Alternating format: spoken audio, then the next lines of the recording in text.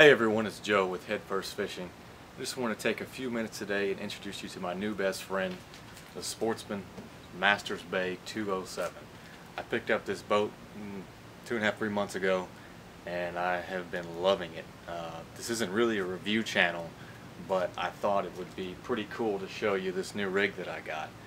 Um, and if we could review some of the features that I really, really like about this boat and why I would recommend this boat to a whole lot of people looking for the best bang for your buck in a serious bay boat, fishing boat. One of the biggest reasons I got this boat, or maybe I should say one of the biggest reasons uh, it caught my eye in the first place, was uh, back in my hometown, back in Alabama.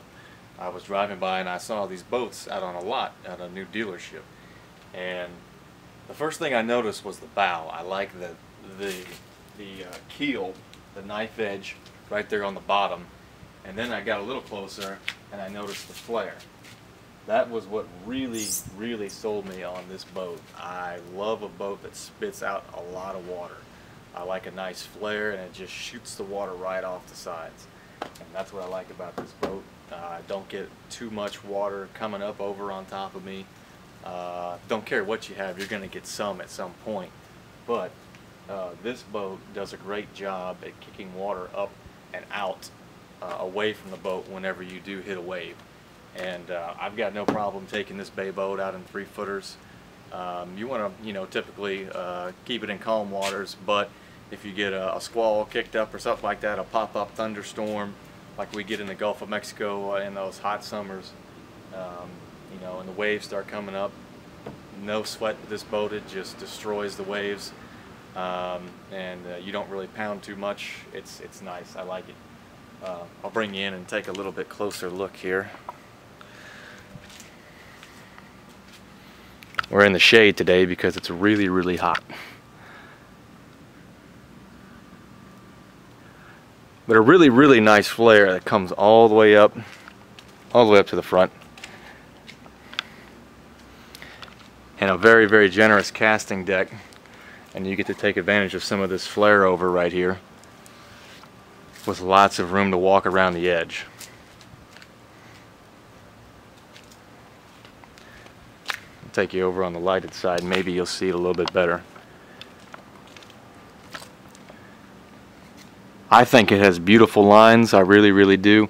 One of the next things I did was get a Motor Guide wireless trolling motor and it has a foot pedal along with a handheld wireless remote. It's really cool. Uh, this one's uh, 75 foot-pounds of thrust. It does a great job. Uh, I can typically do two full days of fishing on it before recharging the batteries and that's using a lot of uh, 90 to 100% power.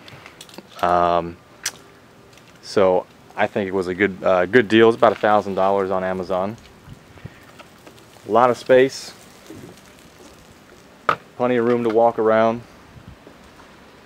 You can get about a 32 inch long cooler underneath this seat right here. Nice steering wheel with a power knob. A lot of uh, boats before just they didn't put that on there. That was an optional accessory. You had to just put it on yourself. Uh, but they go ahead and give you that. Uh, so that's just a nice little bonus. Nice console, plenty of room. I got a Lowrance Elite 4 HDI and I also have a standard Horizon uh, Class D DSC radio. Uh, I actually have to go get my uh, number set up because I do have an FCC license so I can't uh, go through Boat US. I have to go through someone, uh, the other governing body. Um, you got your switch panel right here, nav, courtesy, lighted live wells. Uh, you got a stereo feature, a horn. Uh, the horn is extremely loud. They give you a plug-in, 12 volt plug-in like you would pull out of your car. I've got my electronics set up right here, my uh, GPS sonar and my radio hooked to accessory number one. Uh, I'm probably going to put a stereo system in this boat. So uh, there's actually, uh, I can hook that here or there, uh, but there's extra switches already set up, you know, for different electronics that you might want to do. This boat actually has three live wells, and that's one of the big things I wanted to talk about. I've got a live well all the way up here, and I usually put my shrimp up in here. and uh, that keeps them nice and uh, healthy and lively, ready to be devoured by trout and reds and snook and whatever else. And you got two aft live wells. Great big one back there. And these pumps will keep it nice and full. And you can adjust the openings to control how much flow you get. A lot of boats they'll give you two in the back or one in the back and one in the front, but this one has actually three live wells, which is really really awesome because I can have you know three different type of baits if I want to segregate them. I could have pinfish in one and shrimp in another and greenback pilchards, uh, alewives, shiners, whatever you want to call them, uh, in another. So you can segregate baits if you want, or you can you know you clean it out one day and use it as a cooler. They're all insulated, so that's really cool. Uh, another one of the really cool features as we get into the storage areas. Now you got your typical rod lockers up here. You know most bay boats will come sort of rod locker, storage compartment. You got an anchor locker up there. But one really really cool feature of sportsman boats is this right here. This little hatch right here in the front of the console, this uh, backrest seat. This flips open you can put, you know, I got some junk in there right now, some water bottles and sunscreen, and I throw my wallet in there, my keys, easy access to your battery switch right there. And then, you know, you can take this cargo net down and get in there, and your battery's in there. I got tackle boxes down there. Believe it or not, just a simple, a simple little feature like that makes it, things a lot easier if you want to go in here and work with wires. You got two different places to come through. So really, really happy about that. Uh, nice, nice seat, leaning post. You got flip seats. You just flip them up and down, like so. Back up. Rod holders right here built in. One, two, three, four. I think this boat's got like 11 or 12 rod holders. Let's see. One, two, three, four, five, six, 7, 8, 9, 10, 11, 12. I do believe it's 12. So that's really, really nice. Plenty of rod storage and you can, you know, put rods in the in the front lockers. You also got cup holders. There's a cup holder here and there's one on the other side. You got two up here in the center console and you've got two in the back.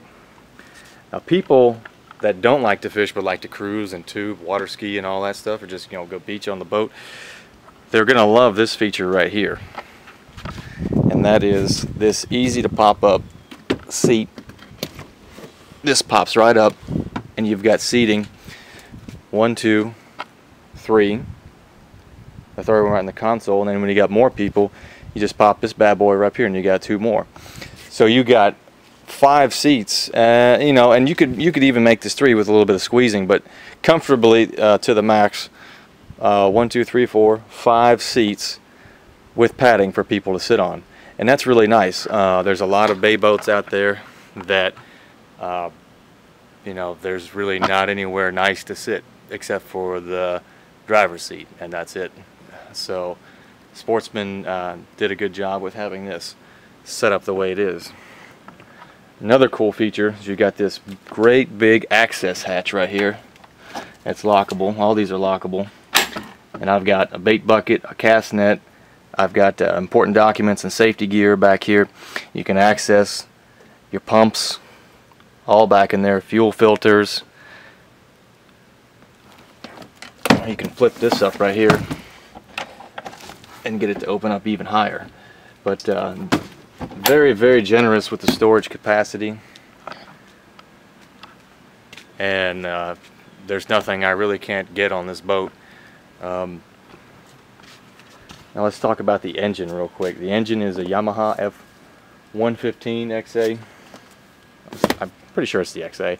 Uh, anyway, it's a 2014 model and it is their inline 4 and this thing is extremely smooth extremely quiet uh, you know I just put it through its 25 hour service not a single problem uh, you would expect it to be running good you know it's a brand new motor but um, I've been thrilled with it. Um, gets great fuel mileage. Um, uh, we'll see how it does in the long term. But you know, pretty much everybody out there that knows a little bit about boats knows that Yamaha makes a great motor. Um, you know, who's the best? You know, that's by opinion, but I would say Yamaha is the best. Uh, Suzuki comes pretty damn close. Some people will say Suzuki's better, but uh, you can definitely look around and, on dealerships and, and boats on the water. Yamaha dominates the market. But this motor, uh, I have complete confidence in it. I know people that run Yamahas, uh, guides, you know, cruisers, stuff like that. Uh, they've had them for over a decade, and they're still going strong. Yep. Like anything else, though, you got to do your maintenance. Yeah, it doesn't matter what it is. So as long as you got that taken care of, it'll last forever. Anyways, really. uh, thanks for coming by and checking out my boat today, and I look forward to posting more videos about the goings on in St. Petersburg, Florida.